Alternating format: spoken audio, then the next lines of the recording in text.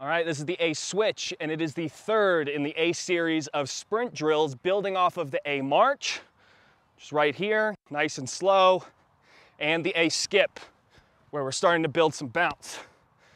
The A switch, our goal here is simultaneous hip actions, as well as maintaining a relaxation and an elasticity in our ankles and foot while keeping our quads, our glute, and our core very strong and very tight. So good A switch looks like this. Now notice I'm achieving bounce on my right leg. That is not because I'm hopping on one leg once I get there, it's because I'm pushing into the ground so damn hard, but my foot and ankle is relaxed, I have no choice but to bounce. So stringing a couple together, it looks like this. Notice how robotic everything but my ankles and feet are.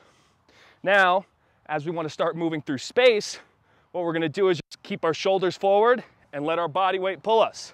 So, here,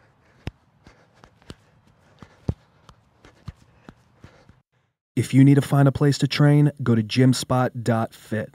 Tell us where you are, what you're looking for, and we'll take care of the rest. GymSpot, the world's best gym locator.